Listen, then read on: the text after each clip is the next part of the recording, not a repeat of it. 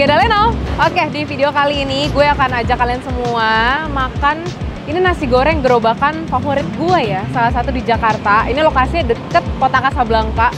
Ada gang kecil di sebelahnya. Terus kalau kalian turun dari flyover Sudirman, itu ada Natasha Clinic Center. Ini seberangnya langsung ada gang kecil. Ini Jalan Menteng Pulau 2 ya.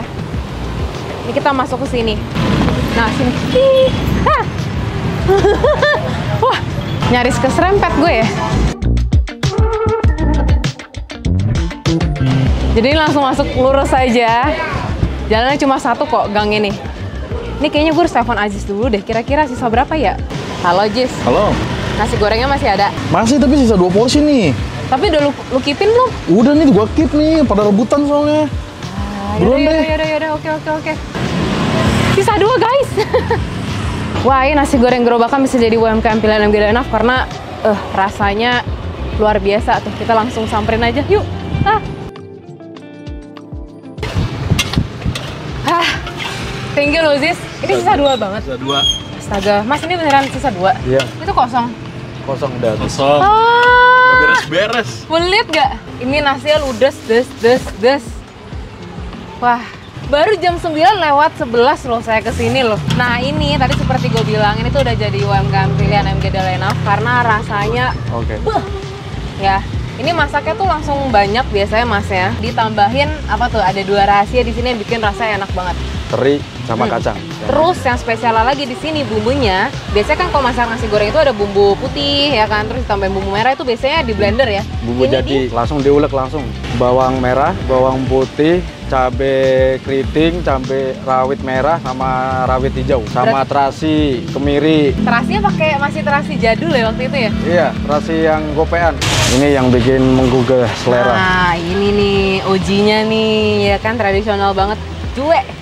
Ya, dia bulat-bulat gitu. Ya, terasi jadul, terasi udang. Mantep. Jadi setiap ada orang yang pesen, karena memang ini rame, itu bumbunya langsung diulek, Langsung diulek. ditaruh sesuai Langsung. porsi. Iya, Oh. manual. Jadi kalau misalnya nanti ada pesanan lagi, ngulek bumbu lagi. Ngulek bumbu lagi. Masih nasi perah? penggorengan. Gak terlalu perah, gak terlalu pulen gimana? Standar aja kalau di sini. Kalau perah kan perah banget, soalnya bumbu ulek. Iya. Jadi kalau dirasain itu tuh gak cocok sebenarnya. Tapi udah lama nggak jualan di sini? Kalau dari bapaknya bilang sama saya itu udah 10 tahun di sini dari 2013. Ini kan masnya masaknya barengan ya semuanya Iya. banyak. Kalau ada yang mau pesan nggak pedas, pedas, Bisa pedas. dibuat sendiri. Suruh sabar nunggu. Oh. Giliran ini udah selesai, baru dibikinin baru, diulekin baru. Oh ini ini ada Google juga ya. Si goreng bumbu ulek Pak D. Open jam 6. Terus ada reviewnya ya baru siap-siap jam 6. Tutup jam 10 ya. Tapi ternyata buka dari jam Jam 4 sore. berarti rame terus ya. Dari kemarin udah berturut-turut ini, orang-orang dari jauh, kadang dari Tangerang, Bekasi. Ya, tapi masnya nggak capek? Nggak tadi Aziz katanya koyon Ya, semua. Ini cuma koyo buat ngilangin nyeri doang. Coba emang banyak banget. Wadah. Wih, banyak juga ya. Ya mantap lah. Pokoknya kita doakan Ayo, semoga amin. nasi gorengnya makin besar, makin sukses ya. Amin, Ada karyawan supaya nggak pakai koyo terus di sini ya.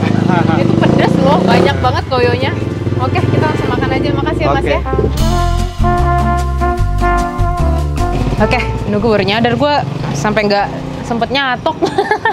Saking buru-burunya ke sini karena takut kehabisan. Ini harga nasi gorengnya standar sih, kayak nasi goreng gerobakan pada umumnya 15.000 udah termasuk telur dan ini tuh ada topping-toppingnya tadi seperti Mas saya bilang ada teri, ada kacang ya dan dapat kerupuk juga. Ini makanya kalau kalian dine in di sini ya di pinggir jalan seperti ini ya, depannya langsung lalu lintas. Oke, barbar kuy. Ini tuh bener-bener rasanya mirip banget sama apa nasi goreng yang kalau kalian biasa pesan di hotel-hotel ya, hotel bintang 3 ke atas. Karena dia punya rasa terasinya tuh kenceng. Nasi goreng khas Indonesia kan terasinya bold banget ya. Terus bumbu putihnya tuh juga udah ditumis tadi sampai wangi ya, sampai duh rasanya pokoknya. Terus kalau makan di sini ya bisa sambil lihat gedung-gedung pencakar langit. Jadi kurang lebih sensasinya sama lah ya kayak makan di restoran ya. Ada view, ada rasa, tapi cuma 15.000 Terus ini juga toppingnya generous sekali ya karena tadi mungkin masa karena masaknya banyak jadi pakai feeling aja gitu loh mau ngasih yang terbaik gitu kan udah banyakin aja terinya.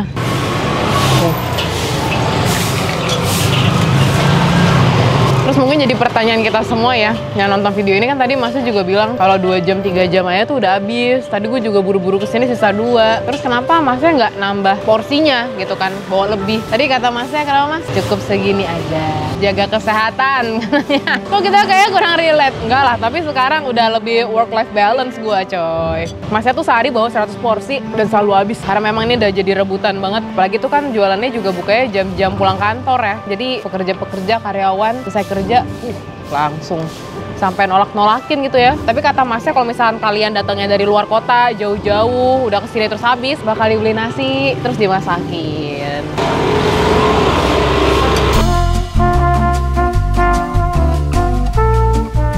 Nah, jadi teman-teman semua yang mau nyobain nasi goreng gerobakan rasa seperti restoran bisa langsung ke nasi goreng ulek Pak D ya. Ini langsung sebelahnya kokas tuh kokas kelihatan. Ya. Karena ini worth it banget kalau misalkan gue disuruh ngasih bintang ya. Kalau dari sisi rasa sih 4 sih dapet sih 4 dari 5 mungkin karena tempatnya masih sederhana dan uh, overall reviewnya ya masuk 3 lah 3, 3 dari 5 pokoknya top. Jadi sampai itu aja video gue kali ini. Jangan lupa dicobain dan jangan lupa juga cek instagram gue MG Danaf untuk rekomendasi kuliner lainnya. Sampai ketemu di video selanjutnya. Bye. Mas mau beli nasi goreng dong? Mbak, nasinya udah habis dari tadi mbak. Oh ya udah apa-apa. Iya. Sorry Makasih ya mbak ya. ya.